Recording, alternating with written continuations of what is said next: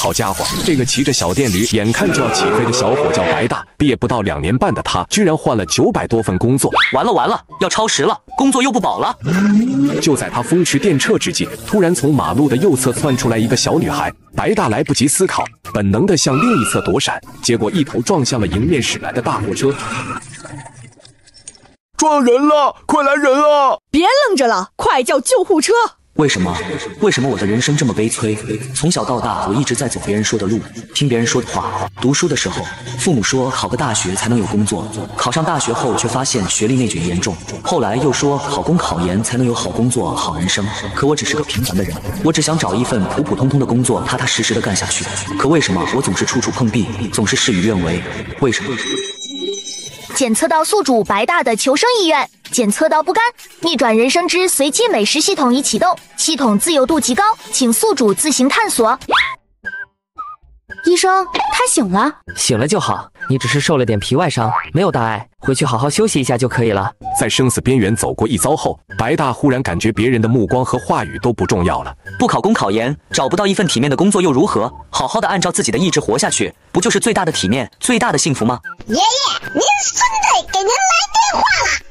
你小子跑去哪了？第一天上班就被客户投诉，你丫的还想不想干了？我告诉你，你今天的工资没了，另外再扣你五百。老板，你稍等一下。稍等什么？你赶紧回来把罚款交了，不然……你稍等一下，我再想想该怎么骂你。啊！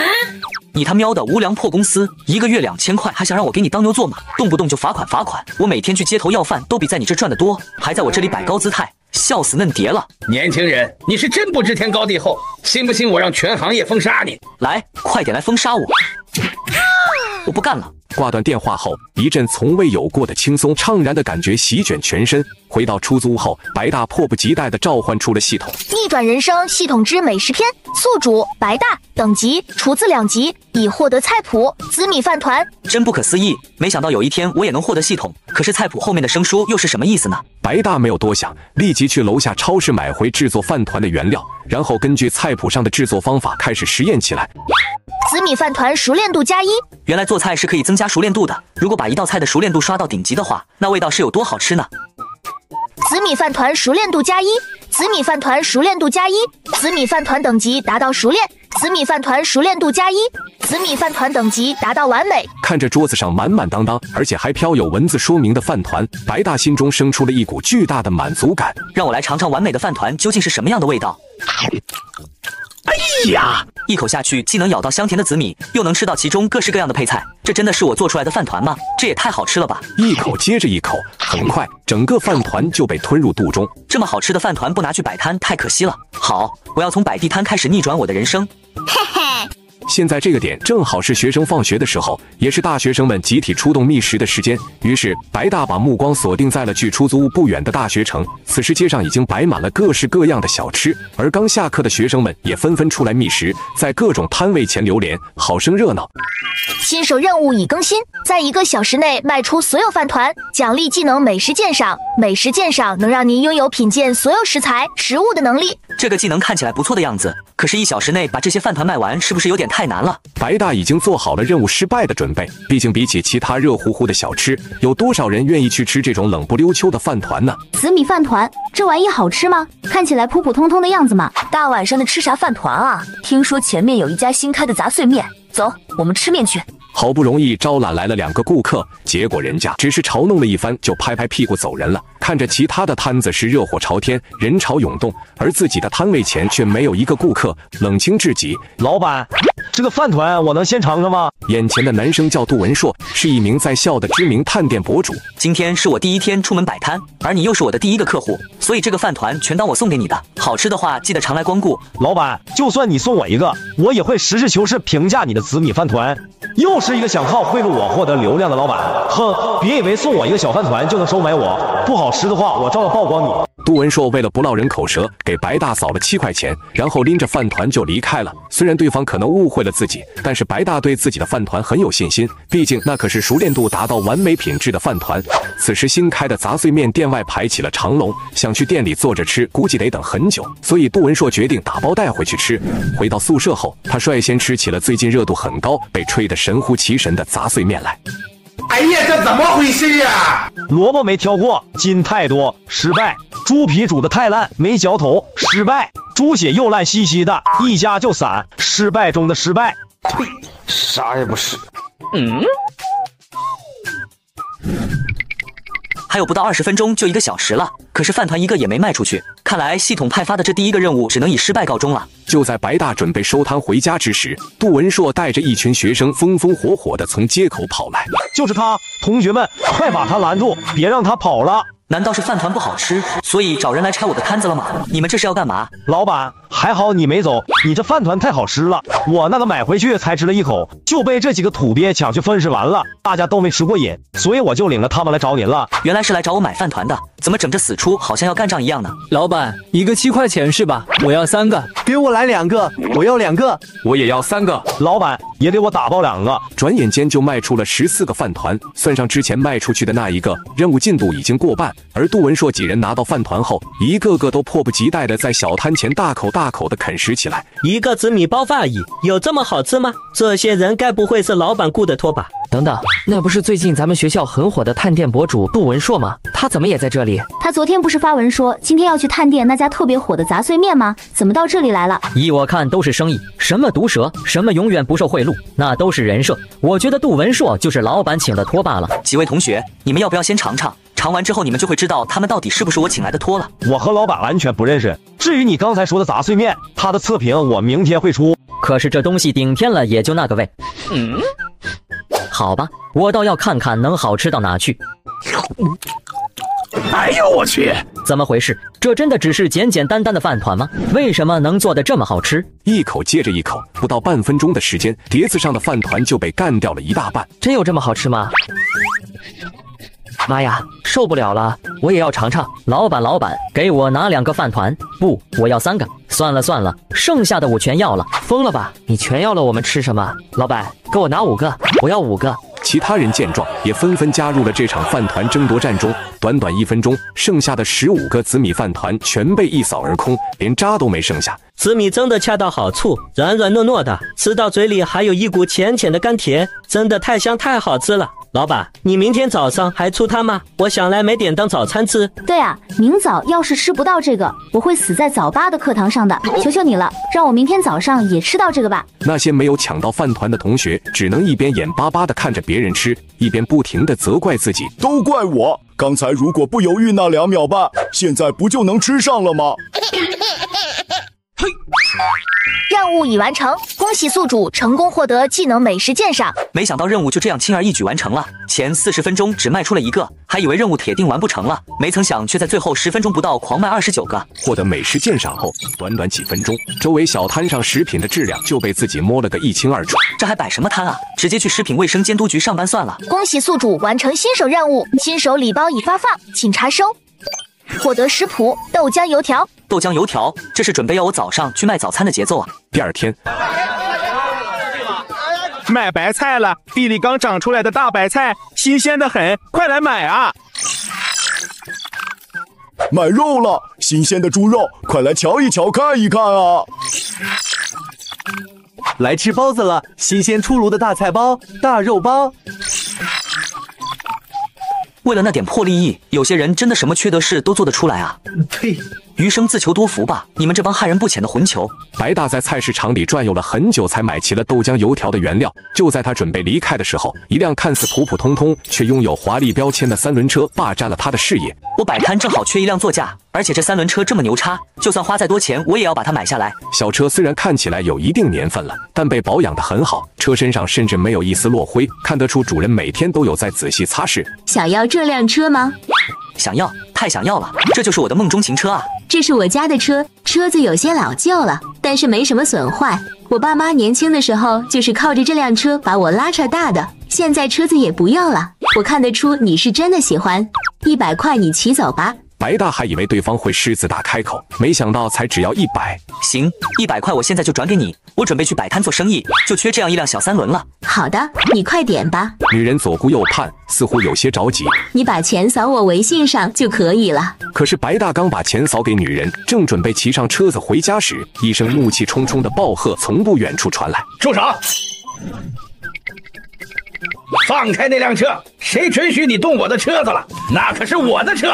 你个臭丫头，谁准许你卖我的车了？那是你娘留给我的东西，谁准许你卖的？老头看上去被气得不轻，脸色涨得通红。你们这一天天的就想着卖我的车，你知不知道？当年我和你娘就是靠这辆车把你拉扯大的。老头说完后，便掏出一块抹布，动作轻缓地擦拭着车子的每一处细节，仿佛眼前的三轮车就是自己阔别多年的爱人。爸，你不能再这个样子了。妈已经走了很多年了，你为什么还要一天到晚守着这辆车子呢？车子我今天已经卖了，钱人家也付了。从今天起，这就不是咱们家的车子了。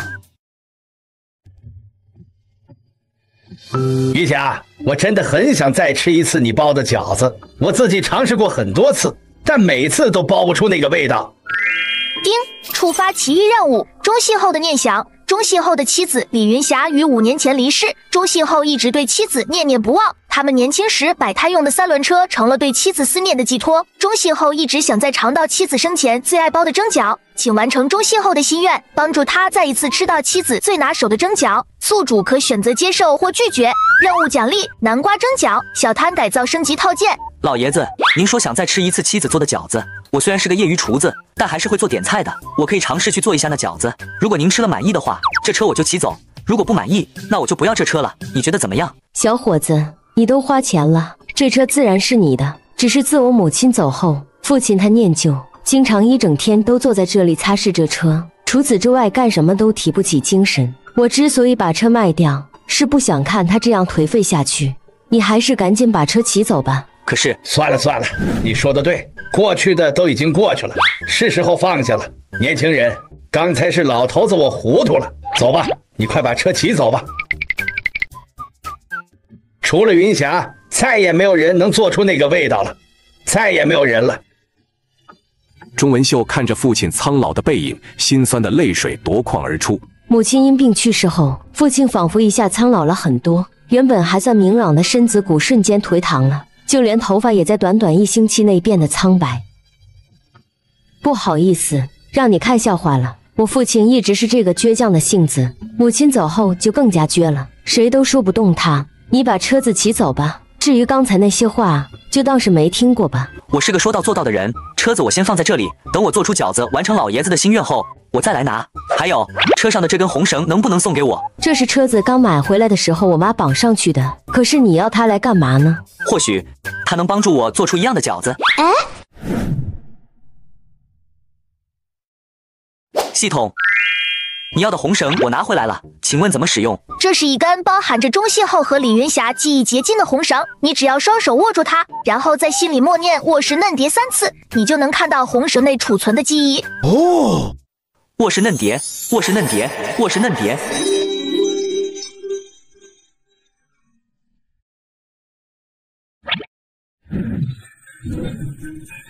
这两位想必就是年轻时候的钟信后和李云霞吧？李姑娘，你这么老远嫁过来，路上舟车劳顿的，真是难为你了。什么李姑娘，你该改口叫老婆了。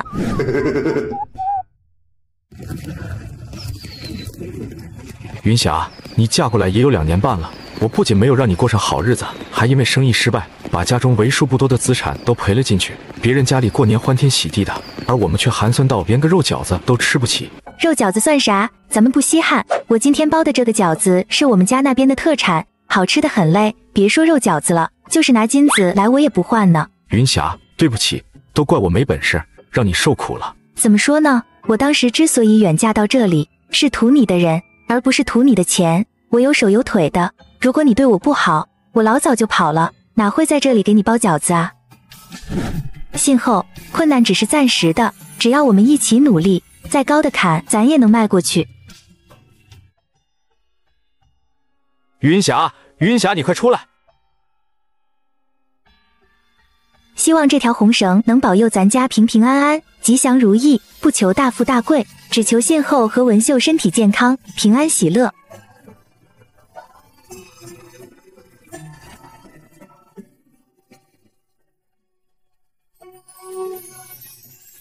谁在最需要的时候轻轻拍着我肩膀？谁在最快乐的时候愿意和我分享？日子那么长，我在你们都别难过了，等我出院后就给你们包最爱吃的蒸饺。充满。钟信厚和李云霞是最平凡的普通人，没有大富大贵，没有气运通天，挣的钱只够拉扯文秀长大，却不够保住自己的命。白大一瞬间理解了钟信后对于那辆小车的执念。小三轮上承载的不是他自己，而是那份对于失去爱人的深切思念。包含回忆的红绳已使用，获得食谱南瓜蒸饺。这个南瓜蒸饺，我一定要复刻出相同的味道来，因为这不仅是钟信后和钟文秀的心愿，也是李云霞最后的心愿。说完，白大点击使用了系统面板上的菜谱，一阵短暂的闪白转场后，他再次出现在上一集李云霞包饺子的房子里。此时的李云霞正站在桌子前和面、调馅、包饺子，每一道步骤都被一旁的白大尽收眼底，铭记于心。在准备好所有材料后，白便按照李云霞的方法开始做起饺子来。刀工熟练度加一，刀工熟练度加一，到达基础刀工。和面熟练度加一，和面熟练度加一，达到面食爱好者。随着技能点的不断增加，白大包蒸饺的速度也越来越快。平常吃的都是猪肉馅的水饺，这南瓜馅的蒸饺还是第一次听说。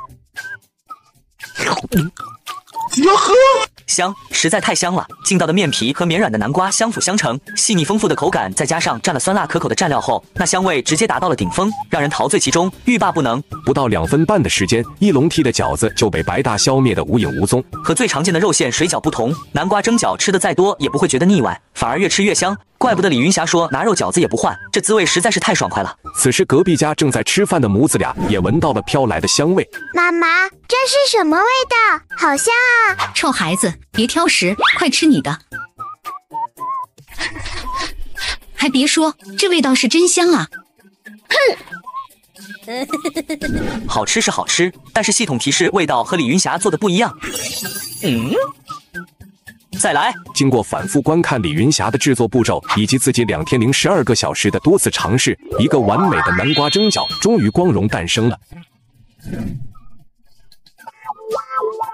另一边，那个卖饭团的老板怎么还不出摊啊？都已经两天没见到他了。是啊，我在美食街附近连着找了他两天，连个人影都没看到。现在我只要一闭眼，脑海里全是上次吃的紫米包饭。可不是，我一想到就流口水。那天怎么没想到加老板的微信呢？真糊涂啊！那老板不会不摆摊了吧？老爷子，你还记得我吗？车子我已经检查过，并且也擦干净了，所有零件我都更换了，除了看起来有些老旧外，其他一切正常。你赶紧骑走吧。老爷子，你等等。按照上次说好的，我这几天试着做了您上次提到的饺子，你来尝尝吧。如果是您记忆中的口味，我就骑走这车；如果不是的话，车子我就留给您。白大说完，便打开了手里的保温盒，随后一股极其熟悉的香味朝着中信后扑面而去。这这是我也调配了蘸料，您尝尝，看看是不是那个味道。小伙子，你有心了，谢谢你的蒸饺。这辆车你骑走吧，钱我会让文秀退给你。老爷子，你还是先尝尝再说吧。钟信后不急不慢地夹起一个蒸饺送入嘴中，然后缓慢地咀嚼着。没错，就是这个味，和云霞包的蒸饺一模一样。五年来，这个刻骨铭心的味道一直在我脑海里魂牵梦萦。我以为我再也吃不到这个味道了，没想到今天居然……老头话还没说完，就迫不及待地夹起了第二个蒸饺。两个饺子下肚后，老头被辣的眼角呛出了泪水。可即便这样，也没能动摇他继续干饭的决心。快来尝一个饺子，我放了很多辣椒，你快吃一个，吃完就不冷了。好吃，真好吃，就是辣了些，不过正对我的口味。你喜欢吃就好，我以后顿顿给你包。小伙子，谢谢你啊！自云霞走后，我就再也没尝过这个味道了。爸，你怎么了？怎么哭了？文秀，你快来尝尝这个饺子，这味道好熟悉啊！难道是？不可能，绝对不可能！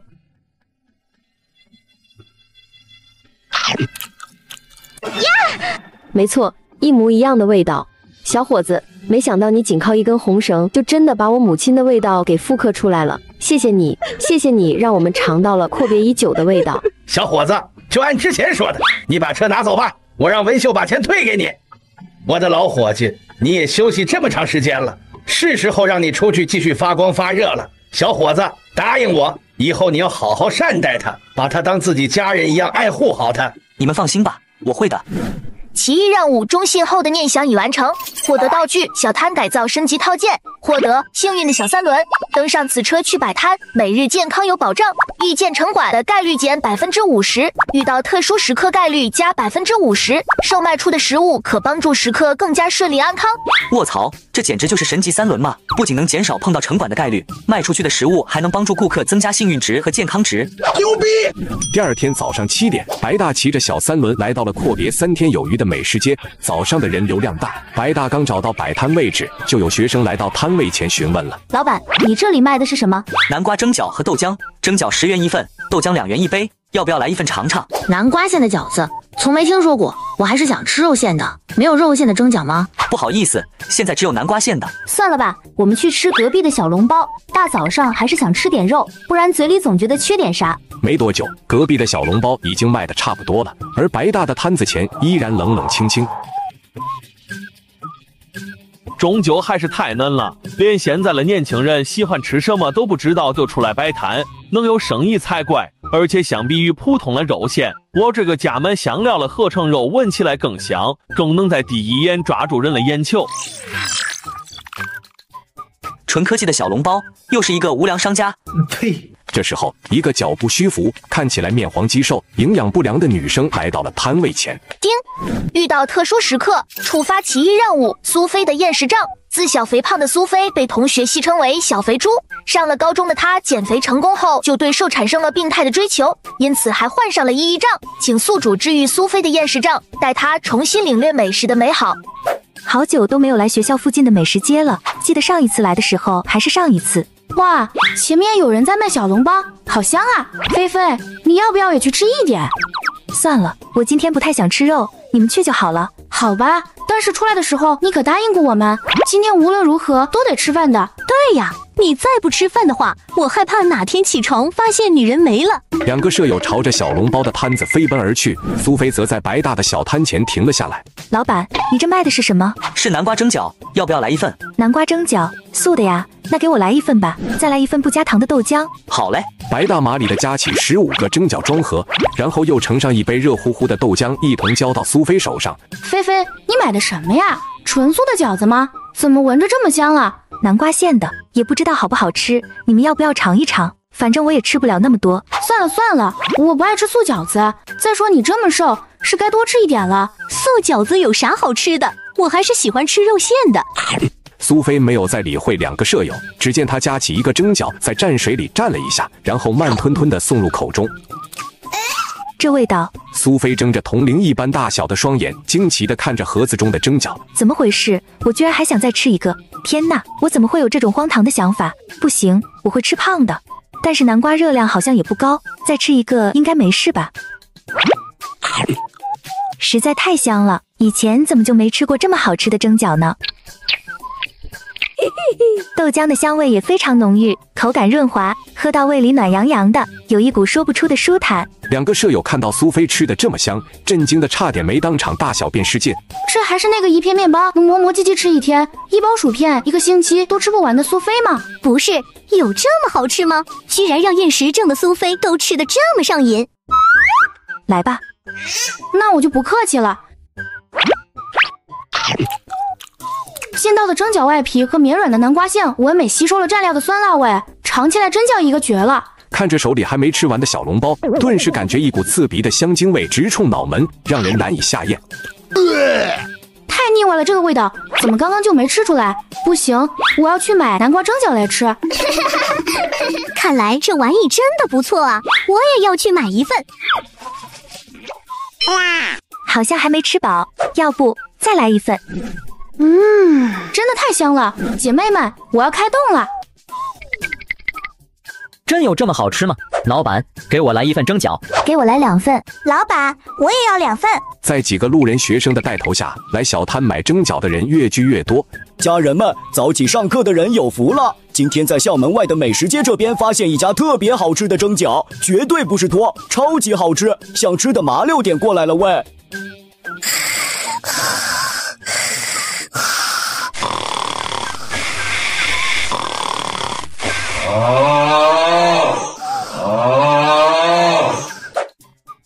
什么？又有新的小吃摊了。可是这饺子看起来很普通的样子嘛，真的会好吃吗？等等，这个摊主不就是前几天卖饭团的那个老板吗？杜文硕激动地从床上蹦了下来。大家快起来，快起来！紫米饭团的老板回来了。大早上的吵吵嚷嚷干嘛呀？还让不让人睡觉了？吃饭哪有睡觉重要啊？昨晚打了一晚上的游戏，困死爹了。你就别在那狗叫了，好吗？这可是你们说的，到时候千万不要后悔啊！不到一个小时的功夫，白大准备的三十份南瓜蒸饺就已经卖出了二十六份。老板，老板，我没来迟吧？原来是你啊！没来迟，还剩下四份蒸饺，要不要来一份尝尝？看着蒸笼里香气扑鼻的饺子，杜文硕感觉此刻的自己能生吞一头牛。给我拿两份蒸饺和一杯豆浆。闻着都这么香，不知道吃到嘴里又是什么样的感觉呢？此时早已饥肠辘辘的杜文硕迫不及待地夹起了一个饺子就往嘴里塞。哎呦我去！这饺子真的无敌了！没想到看起来平平无奇的小玩意儿，居然如此美味。一阵毫无人性的狂轰乱炸后，两份蒸饺和豆浆都被杜文硕舔食得一干二净。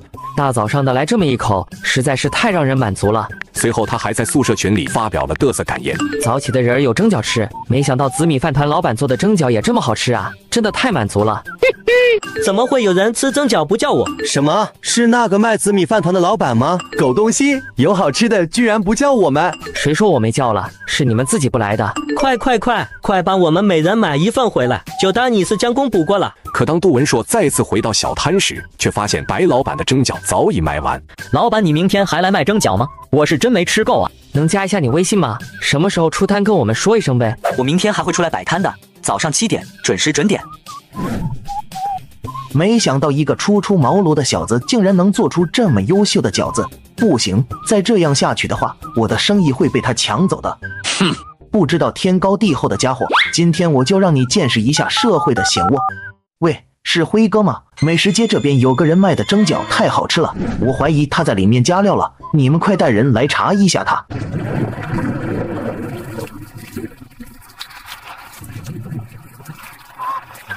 这雨怎么说下就下了？我今天特喵的还多准备了几笼的蒸饺，这下好了，全砸手里了。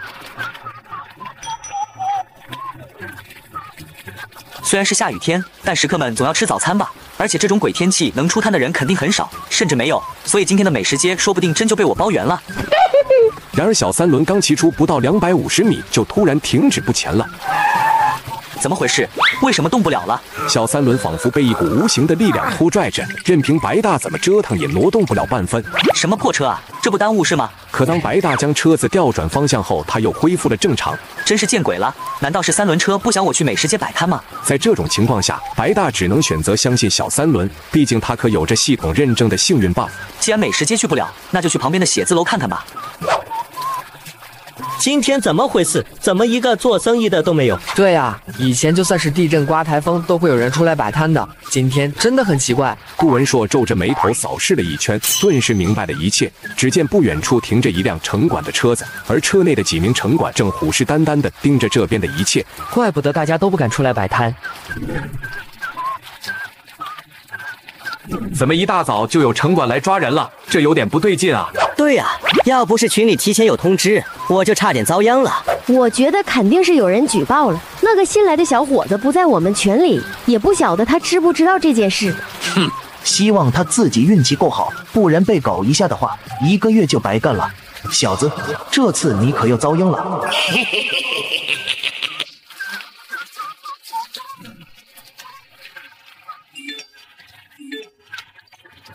老板，今天校门口有城管，千万别来。其他小摊也没有来。我刚出来也看到了。谢谢各位的通知，今天暂时不去美食街摆摊了。老板，你今天去哪摆摊？我还没吃早饭呢。今天在茂商大厦底下，距离学校比较远，大家就别跑这一趟了。今天那家卖菜夹馍的好像没有来，也不知道吃点啥好了。嗯。怎么多了一个卖早餐的摊子？以前从来没见过。老板，你这里是卖什么的？多少钱一份？南瓜蒸饺和豆浆，蒸饺十元十五个，豆浆两元一杯。南瓜馅的吗？从来没吃过，来一份尝尝吧。当白大掀开蒸笼的盖子后，一股浓烈的南瓜香味混杂着暖乎乎的热气，把一文林熏得格外的舒服。来，这是你要的蒸饺。外表也就普通蒸饺的样子，但闻起来确实很香。让我来尝尝看看它味道如何。哟，香辣的蘸水混合着软烂的南瓜内馅，在口腔中交织出了一股奇妙的滋味。每一次咀嚼都能带来更丰富的口感体验，真的太香太好吃了！而且在这阴雨绵绵的早上来一口暖乎乎的蒸饺，简直就是神仙一般的体验嘛！你在吃啥呀？闻着挺香的，兄弟，这么一大碗你应该也吃不完吧？需要我来帮帮你吗？这蒸饺不好吃，真的不好吃，我下次再给你带好吃的。什么？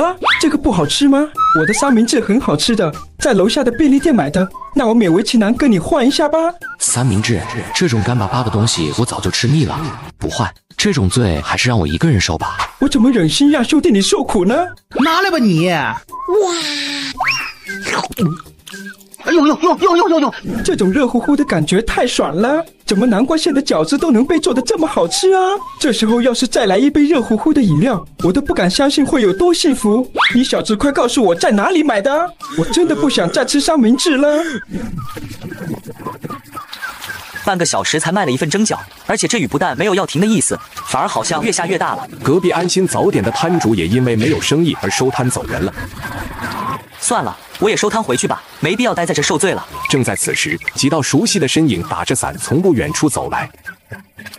白老板，总算让我们找到你了。杜文硕几人每人要了三份蒸饺和一杯豆浆。这玩意儿一天不吃浑身难受啊！我差点还以为今天吃不上了。幸好白老板你出来摆摊了。老板，也给我打包三份蒸饺。白大没有想到患有厌食症的苏菲为了一口蒸饺，居然会在下雨天主动来找自己。而当他查看系统得知苏菲的厌食症治愈进度已经达到了百分之三十五的时候，他顿悟了。没想到就吃了一次饺子，厌食症就治愈了百分之三十五。看来只要让他再吃两顿，我就能完成任务了。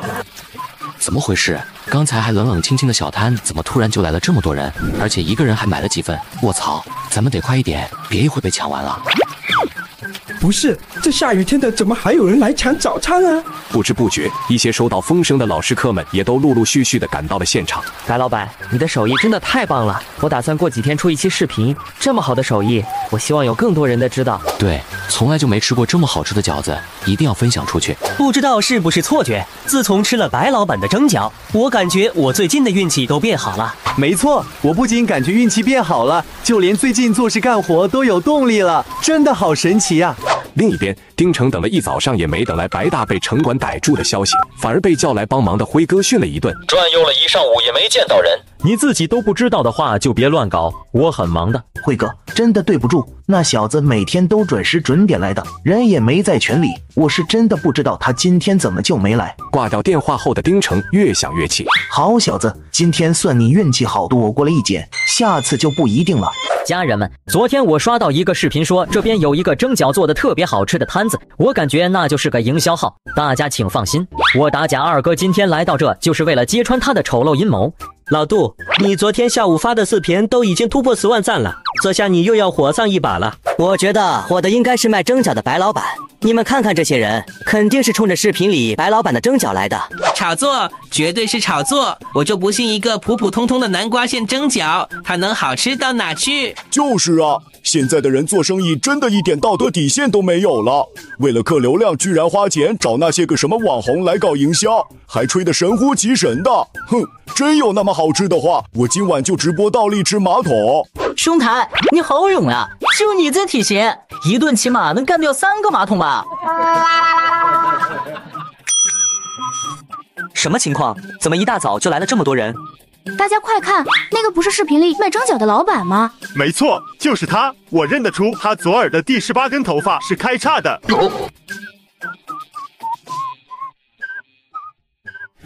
南瓜蒸饺十元十五个，肉蒸饺三十元十五个。老板，你这价格有点黑心啊！价格也还好啊，肉馅的饺子本来就会贵一点。还有，你要是不买的话，能不能让让道？我还想买呢。对呀，嫌贵的就闪一边去。谁说我不买了？老板，我要一份荤素搭配的蒸饺和一杯豆浆。家人们，我已经拿到蒸饺了，十五个花了我二十块钱。咱们现在就去找个地方吃。什么蒸饺要两块钱一个？金子做的吗？依我看，那条视频完全是被刷上去的，就是一个营销号罢了。再好吃也就那个样吧，我可不会傻到为了吃一口蒸饺跑这么远，真不值得。大家放心好了，等我尝完后不好吃的话，我肯定会在网上唱衰它的。白老板，今天还多了一个肉馅的饺子啊，那就两个口味都给我们哥几个各来一份吧。好嘞。家人们，这饺子虽然看起来很一般，但闻着味道确实很 nice。然而很多东西都是闻着好吃，吃着差点意思。不知道这个白老板的蒸饺会不会也有这个毛病？不说了，我先替兄弟们尝一尝这个昆肉馅的。味道怎么样啊？急死了，急死了！主播看起来好陶醉的样子，哪个懂哦？我要馋死了！好不好吃，你倒是吱一声啊！难怪这蒸饺卖两块钱一个，就这个味道，别说两块钱了，就算卖十块一个，我都会买的。家人们啊，我先收回之前的话，全部收回。这个蒸饺实在是太好吃了，真的吗？真的，我可就出发了。我读书少，你可别骗我。等等，我现在怎么感觉主播也是托呢？我们是不是他们 play 中的一环呢？我真的不是托啊，实在是太好吃了。我在这里预言一波，这个老板的小摊一定会火，而且不是一般的火，是那种全省乃至全国的爆火。在中安市居住的兄弟们可以来尝尝，真的不是我胡说，只要吃过一次，其他蒸饺都会变得索然无味。由于今天来的顾客太多，为了保证大多数人能吃到蒸饺，白大无奈之下只好开始限购。除了之前的干饭四人组，队伍后面的人，包括苏菲在内，都只能购买一份蒸饺和豆浆。我看了视频，还以为又是一场炒作，没想到真的这么好吃。我觉得大肉馅的比南瓜馅的好吃，老板用料真实在啊，满满当当的肉馅，难怪卖的这么贵。肉的是好吃，但我还是更喜欢南瓜馅的，软软糯糯，吃起来完全不会觉得腻。怎么感觉越吃越饿呢？我还想来一份怎么办？你别想了，赶紧回家直播倒立吃马桶吧。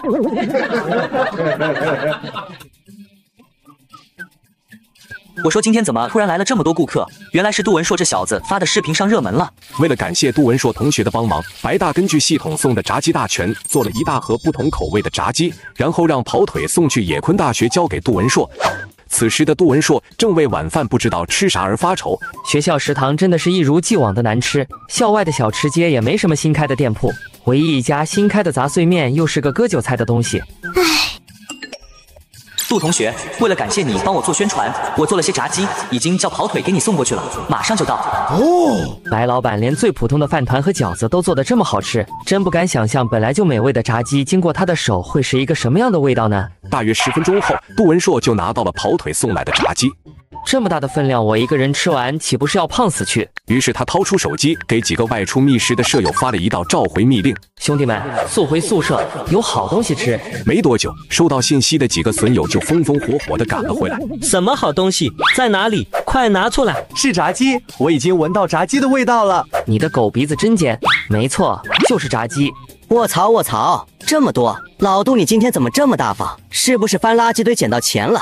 你爹我啥时候翻过垃圾堆了？这是白老板送的，真的吗？我真的爱死白老板了。看着眼前金光灿灿，同时还散发着诱人香气的炸鸡，几个吃货实在没忍住，迅速开始了一通接近疯狂乃至惨无人道的无差别啃食。然而就在此时，宿舍的门突然被人敲响了。是谁呀？嘿嘿，杜哥，是我没呀？不好，是隔壁宿舍的老王，他肯定是闻着味找来了，快把炸鸡藏起来。糟了，这是要来抢东西吃啊！刚吃完饭回来，经过这里就闻到香味了，到底是什么东西啊？这也太香了吧！几人眼巴巴地瞅着桌子上的炸鸡，嘴里的哈喇子都流出来了。就一些普通的炸鸡而已，味道也是很普通，真的不好吃，做的太一般了。真是这样吗？让我来尝尝看看。外皮炸得无比酥脆，内里的鸡肉嫩滑多汁，爽口至极。哎呦我去，这可比外面卖的好吃多了。我还能再吃一个吗？老杜，你这也太不仁义了！兄弟们，给我上！就这样，一场惊天地泣鬼神的炸鸡争夺战就此展开。随后不到两分三十秒的时间，整整一大脸盆的炸鸡就被几人扫荡一空。这一顿吃的真舒服啊，就是感觉没吃饱。我觉得我还能再吃两盆。是啊，真的太香了！老杜，你这是在哪买的炸鸡？快告诉我！这可不是买的，是白老板送的。啊原来是白老板做的，怪不得味道这么好。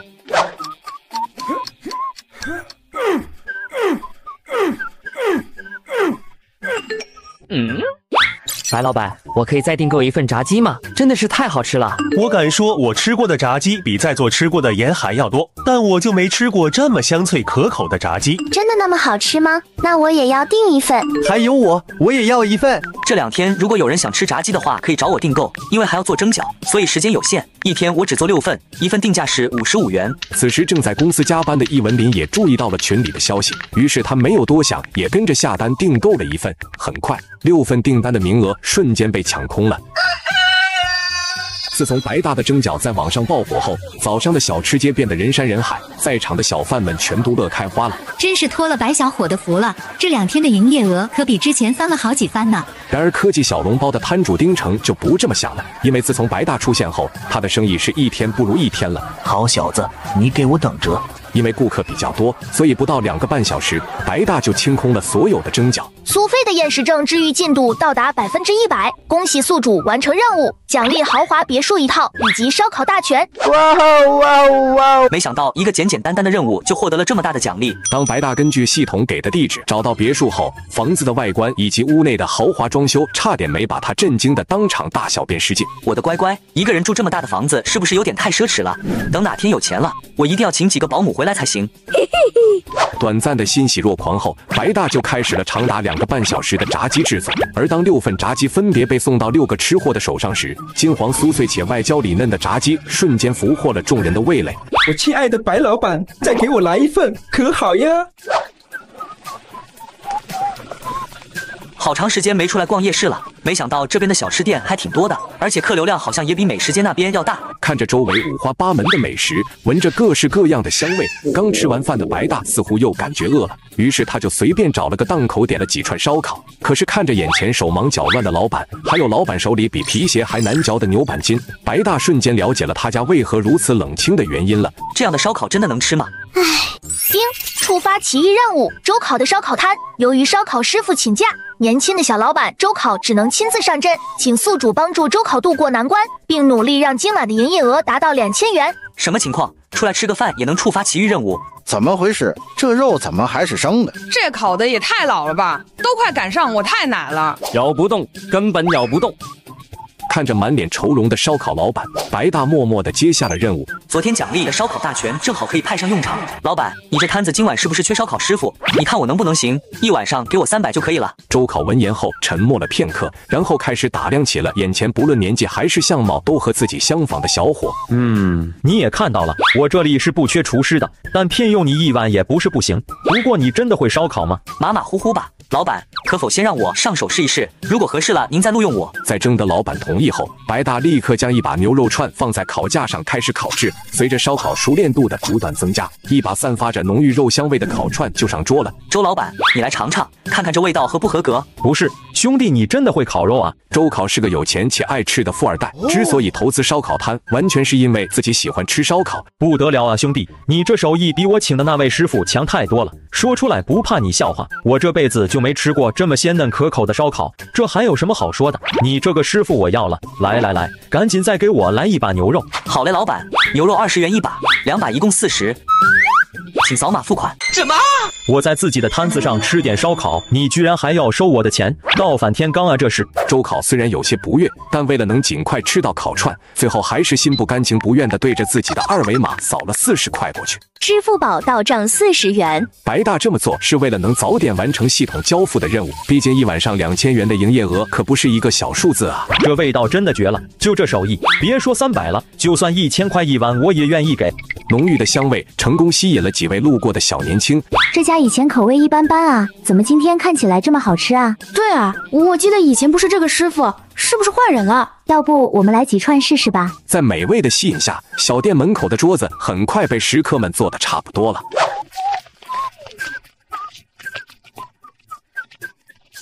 前面有几个卖烧烤的摊子，哥几个要不要去撸几串？好啊，好久没吃烧烤了。这边的烧烤还是不行，我知道城中心的美食街有一家特别好吃的，改天带你们去尝尝。对，学校旁边没有特别好吃的烧烤，还是换个别的吃吧。等等，那个人不是白老板吗？真的是白老板，可是他怎么出来卖烤串了？虽然白老板的蒸饺和炸鸡确实好吃，但是烤串和这两个毕竟不一样。而且我看老板烤串的手法也不像其他师傅那么熟练，不知道味道怎么样呢？这你就不懂了吧？会烤烤串和烤的好吃是两回事。再说这烤串的味道闻起来香的很嘞。想那些干嘛？白老板的烤串我已经不图味道了，就图个新鲜，全当是给老板捧场了。老板，来五把烤牛肉，五把五花肉和烤牛筋，还要三份土豆和蒜香烤馍，再加一份烤茄子。好嘞，请稍等。嗯，原来是你们几个家伙呀，真巧啊！嘿嘿，白老板，你怎么跑来这边卖烤串了？也不在群里通知我们一声。这摊子是周老板的，我只是来帮一下忙。几人找位置坐好后，杜文硕就迫不及待地往食客群里发了一张白老板在烤炉前烤串的照片。不是，白老板怎么转行卖烧烤了？怎么没有人告诉我？白老板在哪里卖烧烤啊？我现在在家里都快馋疯了。就在步行街的一家小店，目前人还不多，要吃的赶紧来。放下手机后，杜文硕几人刚点的东西就开始陆陆续续上桌了。没想到白老板的烤串这么有模有样啊！样子是过关了，就是不知道口味如何。烧烤最讲究的就是火候，稍不留神就会烤老或者烤柴。好不好吃要尝过才知道。兄弟们等着，我先给你们打个样。牛肉烤得恰到好处，外焦里嫩，一口下去，独特的肉香气瞬间充斥整个口腔，让人欲罢不能。真没想到白老板烧烤的手艺也能这么好。三人见状后馋虫大作，纷纷抓起桌上的烤串就是一通疯狂的啃食。一阵毫无节操的鬼哭狼嚎后，桌上的烤串全被几人吸食的一干二净。不过瘾，根本不过瘾。对呀、这么好吃的烧烤是怎么吃也吃不够啊！时间不早了，明天还要上早八呢。这样吧，我们找白老板打包几份带回宿舍吃，怎么样？好主意！几人提着烧烤刚离开不久，群里收到风声的食客们就陆陆续续的赶到了烧烤店。因为桌椅有限，很多人还在路边自觉的排起了长队。此时的小店不能说热闹，只能说火爆。而周考看着眼前壮观的景象，激动的差点连尿不湿都尿湿了。这真的是我那个经营惨淡、无人问津的小店吗？老板，别在那发呆了，快点给大家上烤串吧。Yes sir。怎么感觉现在他才是老板，而我却成服务员了？随着前来吃烧烤的人不断增加，小店的营业额也在飞速的攀升着。营业额加两百三十三，营业额加三百八十六，营业额已达到两千，任务已完成。与此同时，小店里的食材也正好全部用光了。大家得知消息后，只能落寞的各自散去。饶哥，不是说带我们来吃烧烤吗？我们还没吃到呢，这烧烤店怎么就说没东西了？依我看，他们是不想卖吧？这老板是新来的吧？有点不识抬举啊！眼前这位膀大腰圆的家伙是附近无所事事、整天游手好闲的小混混。平常仗着自己人高体壮，专挑一些老实的商铺老板来欺负，而且还以认识鼠鼠为理由，找附近的小摊贩收取保护费。老板，来点烧烤，有啥上啥。不好意思，今天所有的东西都已经卖完了。什么卖完了？你是不想卖给我们吧？是不是怕我们吃完不给钱啊？你不相信的话，可以进里面看看。洪大饶没有理会周考，眼睛直勾勾盯着邻桌的两个女孩子。哟呵，好大一桌烤串啊！你们两个小姑娘家的吃得完吗？要不我们一起拼个桌，帮你们吃一点怎么样？老板，来五瓶啤酒。对不起，我们不喝酒，我们走吧。小姑娘，别急着走啊！你这么漂亮，和我们喝几杯又怎么了？你们再这样，我可要报警了。哼，我约你喝酒是给你面子，你还想着报警？我看你是敬酒不吃，想吃罚酒啊！告诉你，想和我们饶哥喝酒的女人多的是，你都排不上号，知道吗？说完，几人就朝着两个小姑娘一步一步的逼近。这三个家伙太无耻了，不行，我看不下去了。去什么去？那是什么人？你不知道吗？你看其他人有上去帮忙的吗？小心上去忙没有帮到，自己还挨顿揍。围观的群众很清楚洪大饶的为人，所以大家都不敢上前阻拦。不用看了，没有人会帮你的。今天你就乖乖的跟我回家斗地主吧。你们不要太过分了，这里可是我的店铺。哟呵，你的店铺又怎么样？怎么了？是不是想英雄救美啊？趁我没发火之前，哪凉快哪待着去。说完，洪大饶就抓起李秋云的手臂向前拖拽。你快放开我，不然我喊救命了！喊吧，就算你喊破喉咙，也没有人敢来救你的。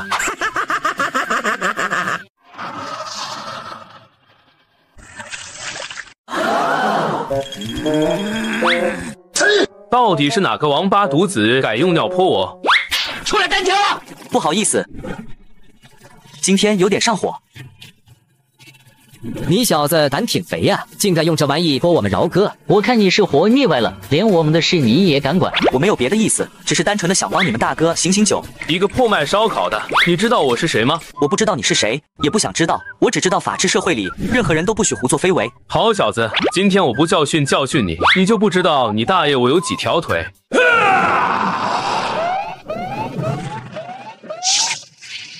哼！怎么可能？这小子竟然……饶哥，要不要帮忙？都不要动！我已经把你们的所作所为全部录下来了，而且我还报了警。洪大饶，你当街欺负小姑娘还敢动手打人，我看你是想蹲局子了。没错，平时就喜欢欺负我们这些小老百姓。告诉你，大家是怕你那个有背景的哥，又不是真的怕你。今天居然还出手打人，这事不能这么了了。洪大饶几人本来就是欺软怕硬的货色，本想色厉内荏的吓吓众人，却发现被激起怒火的民众压根不吃这套。谁打人了？这里有人受伤了吗？你就别狡辩了。如果不是我这位兄弟身手敏捷，接住了你那一记重拳，现在他早就躺在地上了。喝了点马尿就跑出来调戏小姑娘，真是无法无天了。没多久，接到报案的叔叔火速赶来，并带走了洪大饶几人。小子，你给我等着吧。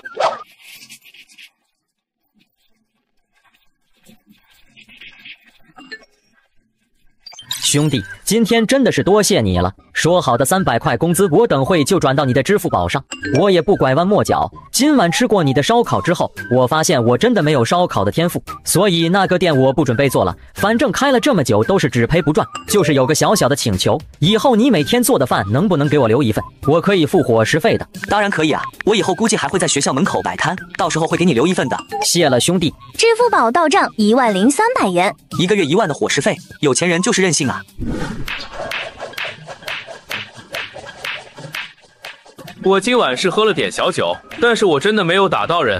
这个事情我暂时不想追究。我听说你小子在外边借我的名头作威作福是吧？不是吃霸王餐就是收保护费，你是不是有点过分了？表哥，我手底下几十号人也要吃饭的，我不这样做的话，根本就养不活他们。我不管你要养多少人，反正以后少给我找麻烦，不然别怪我翻脸不认亲，知道了吗？好的，表哥。哼，臭小子，这一切都怪你！别得意，这笔账我一定会去找你算清的。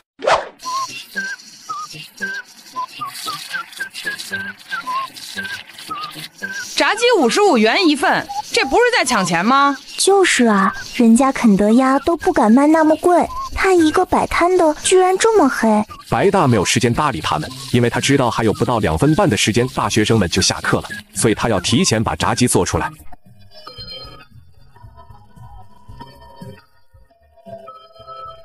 快看，是白老板！白老板，你怎么不在美食街那边摆摊了？我们刚准备过去找你呢。没办法，我两天没去那边摆摊，位置都被人占了。白老板，你终于开始卖杂技了！快快快，快给我们每人来一份！不是，这五十五块竟然能买这么多啊！白老板，我们又见面了。是你呀。原来你也在这所学校念书啊？嗯，谢谢你那天出手帮我们，我真不知道该怎么报答你才好。那没什么，举手之劳而已。你如果真想报答我的话，就帮我买一杯奶茶吧，正好我这新品奶茶还没开张呢。那给我来一杯大杯的吧。觉得好喝的话，记得帮我在学校里宣传一下哦。没问题。此时正值中午饭点，再加上之前炸鸡在学校里打响的知名度，没多久，白大准备的五十多份炸鸡就已经卖完了，而奶茶却只卖了不到一半。慢慢来吧，毕竟是新品，很多人连名字都没听过，也难怪人家不敢买了。李秋云回到宿舍后，随手将刚买的茉莉奶茶放在桌上，然后转身就进了卫生间。热死了，热死了！这鬼天气简直要人命啊！哎，快看，白老板就在那边，姐妹们快冲啊！老板，吓死我了！我还以为你收摊走了。快快给我们一人来一杯大杯的奶茶！几个妹子拿到奶茶后，大口大口的吸食起来。茉莉的芬芳如同春天的微风，轻轻拂过舌尖；奶茶的丝滑则像是温暖的阳光，缓缓地流淌在心田。每一口都是一次陶醉，仿佛置身于茉莉花海中的甜蜜梦境。当奶茶划过喉咙的一瞬间，仿佛时间都静止了，茶香与奶香交织在一起，如同一场梦幻的舞会，在舌尖上绽放出绚烂的光彩。一口下去，打住，不要再形容了，不然粉丝们又说我水视频了。总之就是太好喝了。这奶茶看起来平平无奇的，怎么可能有那么好喝？这些人肯定都是老板雇来的托。要不我们拼一杯来尝一下吧？就算不好喝，也不会亏太多啊。于是，路过的行人在好奇心的驱使下，全都朝着白大的摊子围了上去。原本还剩大半桶的奶茶，眨眼的功夫就都售一空了。叮。新任务开启，主线任务，请宿主从明天开始通过贩卖美食来获得至少一百五十点顾客好评点数，时间不限，地点不限，所售美食不限。主线任务完成后，奖励一间美食商铺。附加任务，获得八十位回头客，并要求有八位回头客的职业为警察。完成附加任务将获得额外奖励，奖励内容由抽奖形式决定。美食商铺，按照这海琴市的房价，商铺的价格几百万都是保守了，这真的是泼天富贵啊！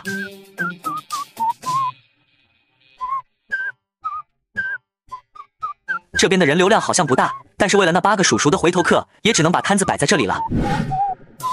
啊，不是，这小子这么用的吗？竟然敢在派出所门口摆摊！老板，你这炸鸡和奶茶怎么卖的？炸鸡五十五一份，奶茶小杯十五，大杯二十，有点小贵，也不知道味道怎么样。给我来一份炸鸡尝尝味道吧。好嘞，请等我两分半。老板，这边人这么少，你怎么不去人多的地方摆摊呢？我的店铺还在筹备，临时在这边练练手。要是你觉得好吃的话，等店开业了，欢迎来光顾哈。这味道不错，怪不得这老板敢卖这么贵，实在太满足了，这辈子就没吃过这么好吃的炸鸡。老板，再给我打包两份炸鸡，我要带回去给我的同事们尝尝。还有，等你开店之后，一定要告诉我呀，我肯定会去给你捧场的。OK。什么情况？摆摊竟然摆到派出所门口来了？欢迎警察叔叔，请问您要来一份炸鸡吗？啊，我感觉我们两个人的年纪应该差不多吧，叫叔叔是不是有点过分了？你误会了，警察叔叔只是个尊称，并不是说你老。人家卖早餐的都在前面几十米远的地方摆摊，而你倒好，直接把摊子摆到我们派出所门口来了。你是咋想的？主要是那边摆摊的人太多了，我一个新来的抢生意抢不过他们，而且我正筹备开个小店，所以临时在这边摆几天。放心吧，不会给咱派出所添麻烦的。好吧，其实也没啥麻不麻烦的，你们也是讨个生活，做得好吃就行了。闻起来挺香的。快，炸鸡和奶茶，赶紧给我各来一份吧。尚朝云拿到食物后，就匆匆的返回了派出所。好狂妄的家伙，竟然敢在公安局门口摆摊卖早餐！可是刚才那位警察为什么不驱赶他，反而还光顾了他的小摊呢？我觉得这老板肯定跟警察是亲戚。嗯，有道理。这炸鸡的味道真是绝绝子啊！我的乖乖，老尚，你这是在哪儿买的？怎么不多买几份？根本不够吃啊！啊，对对对，就在咱派出所门口，我也不知道会这么好吃。要知道的话，我肯定会多整几份回来了。就这手艺，没个十年八年的水平根本砸不出来啊！啊，对对对。此刻的尚昭云突然觉得有点自豪，毕竟如此宝藏的早餐摊是他第一个发现的。不行，我要再去买点。你们还要不要了？给我带一份，我也要一份，再加一杯大杯的奶茶。好，都给我等着。然而，刚跑出大门的王若薇就被眼前的景象惊呆了。老板，给我打包两份炸鸡和两杯大杯的奶茶。我要一份炸鸡，老板麻烦你快点。老板，我的奶茶好了吗？唉，医生，我感觉我好像得病了。别急，你有什么症状说说看。我有些时候看到某些东西会出现不好的症状，会心悸。感觉情绪低落，想哭又哭不出来，而且整个人会变得无精打采，特别是上班的时候。那你说说，你具体是看见什么了？嗯，主要是我看了我的银行卡余额，就这样了。哎，每次我都睡不着觉。我查过了，精神疾病很多都是这种表现。瞅你说的，好像我看到银行卡余额就不难受一样。你多虑了，你这只是单纯看见自己余额太少导致的焦虑。检查也是浪费钱，还不如在有不良情绪的时候做些高兴的事情，比如吃点美食。就好像这个炸鸡，你吃了之后肯定会心情大好。炸鸡？真的吗？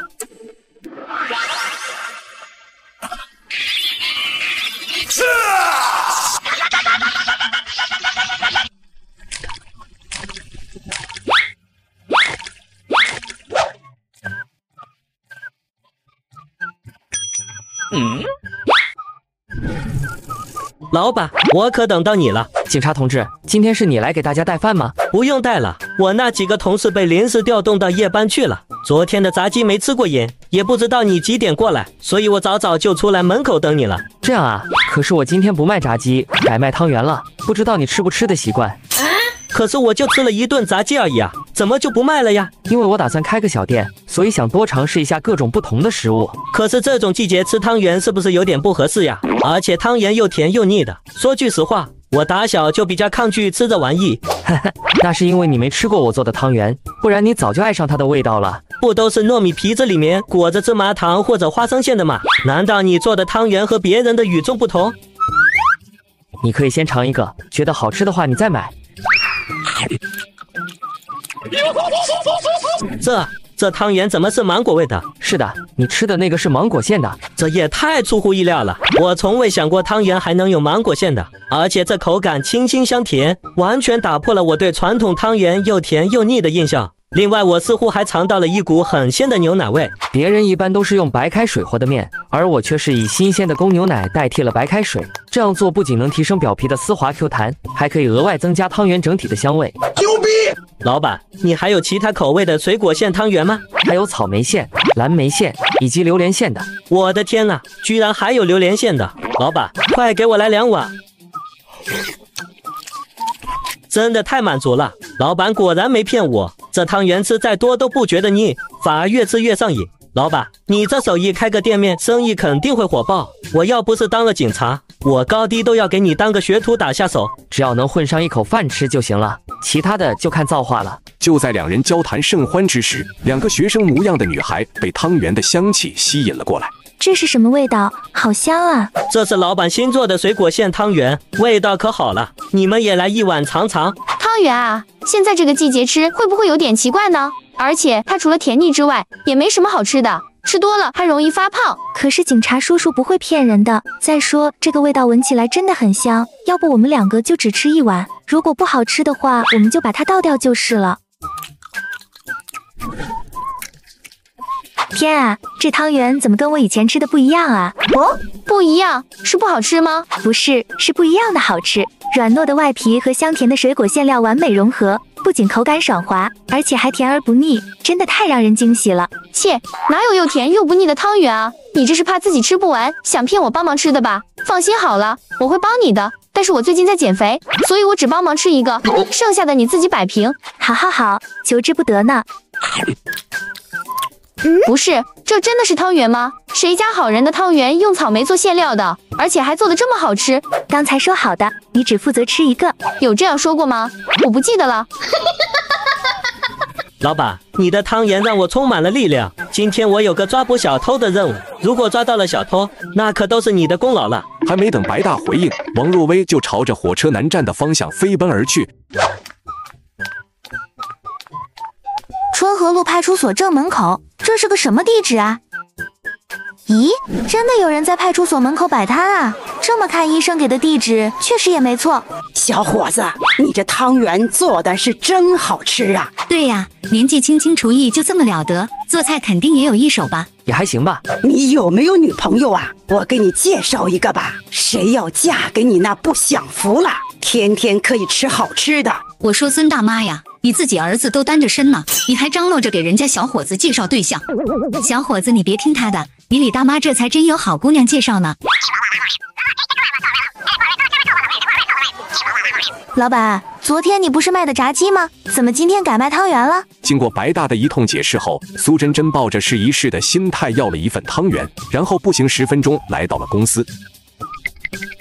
真真，你今天来这么早啊？那给你一根油条。不用啦，谢谢。我今天买了一份汤圆，是医生让我买的。什么？这医院不开药，开什么汤圆啊？你该不会是碰见什么新型诈骗手段了吧？医生说我没什么问题，就是压力大了点，只要吃点美食开心一下就好了。然后给我介绍了这个。嗯，还挺香的。可是这么甜腻的食物，大清早的你能吃得下吗？那个老板说，这些汤圆都是水果馅的，里面没有添加任何糖分，所以应该不会很腻吧？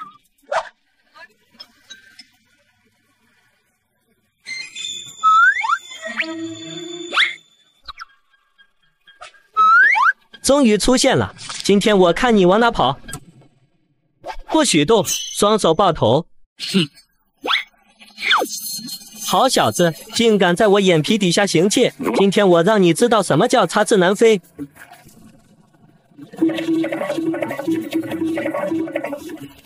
哈哈哈！没想到你这两条小短腿倒腾起来还挺快的嘛。不过今天碰上我这个小学短跑冠军，你可就要倒大霉了。不错啊，兄弟，想不到你竟然这么能跑。嘿嘿，知道我这么能跑的诀窍是什么吗？哎，这还有诀窍呢？今天早上我吃了两碗派出所门口卖的汤圆，那味道可好了。而且不知道为什么，感觉吃完后浑身充满了力量，腿脚也比以前利索很多了。这么神奇的吗？改天我也要去尝尝。宿主今日营业完毕，开始结算。前面两个数据还行，就警察回头客这一项比较难搞。嗯，不过三天内应该也能完成任务吧？不知道到时候系统会给一个什么样子的店铺呢？嘿嘿。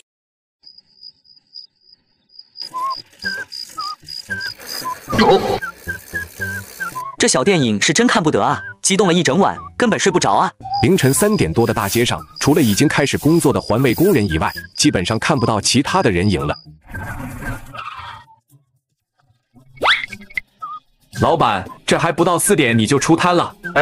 一言难尽啊！几位警官都吃早餐了吗？要是没吃的话，我待会做好了给你们送进去啊。不用了，我们还有事，下次吧。好嘞，你们辛苦了。就在白大以为这个时间点不可能会有生意的时候，一个满脸通红、浑身散发着酒气的年轻人来到了小摊前。嗯，我没眼花吧？这才几点啊，就有人出来卖早餐了。老板，你这汤圆好不好吃啊？给我来一碗尝尝。这一锅马上就好了，你稍等一下。老板，你卖汤圆开心不？嗯，还算开心吧。每天干活都有收入，也不用担心被裁员。白大云淡风轻地回应着对方，殊不知眼前这个略带醉意的男人是个富家子弟，名叫萧关宏。从小衣食无忧的他，整天除了吃喝玩乐，就是玩乐吃喝。我连一个街上扫地的阿姨都比不上，起码他们对社会是有用的，而我却是一个只知道享乐、一事无成的废物。从来没吃过这种街边小摊上的食物，不知道味道如何。哦，一个汤圆入口后，萧关宏的味蕾迅速被打开。此时的他就像是饿了几天没吃过饭一样，对着汤圆狼吞虎咽了起来。这家伙不会是只喝酒没吃饭吧？不是，才三点多而已，怎么就有人出来晨跑了？我操！听说你这汤圆好吃，没想到这么早就出摊了，快给我来两碗吧！你不是在晨跑吗？这么快就结束了？嘿嘿，老板，你愿不愿意去我家当厨师？你就吃了一碗汤圆，就敢让我去你家做厨师了？对啊，老板，你这手艺真不错，肯定还会很多其他美食吧？会倒是会一点，但是我过两天准备自己开个店，所以没办法上你家做饭了。唉，那太可惜了。不知道老板你去哪开店呢？具体位置还没定下来。老板，你这汤圆真的名不虚传啊，实在太好吃了！你帮我打包一份，我要带回去给我那婆娘尝尝。随着天色一点点亮起来，前来买汤圆的人也渐渐越聚越多。老板，老板，我昨天吃了你的汤圆之后，一天下来就抓了八个小偷，你说我厉不厉害？王警官，那都是你的能耐，跟吃不吃汤圆没什么关系吧？不是的，你这汤圆真的好像有魔力一样，吃完后整个人瞬间活力四射。偷偷告诉我，你是不是在里面加了什么料了？我说小伙子，你抓贼是挺厉害的，但就算你把全世界的小偷都抓完了，也不能插队呀。老太婆，我可是排了半个小时才排到这儿的。阿姨，你误会了，我就是想跟老板说说话，没有要插队的意思。阿姨别生气哈。此时刚上完夜班，正准备出来买早餐的尚昭云和刘震走出了派出所。这天才刚亮起来，怎么就有那么多人在排队了？是啊，等轮到我们的时候，估计都卖完了吧？那不是王若薇吗？我们去找她帮忙，应该能买到。听说你小子昨天抓了八个，看不出来你还挺能啊。嘿嘿，还行吧，主要是这汤圆的功劳，立了这么大的功，请我们吃一个早餐不过分吧？没问题，你们到所里等着我就好了。恭喜宿主完成主任务，获得美食店铺所有权。店铺地址：星辰北路一百号。附加任务已完成，获得一次抽奖机会。星辰北路，那可是海琴市最繁华、最热闹的地方啊！等我把奖抽完之后，就立刻出发去看看。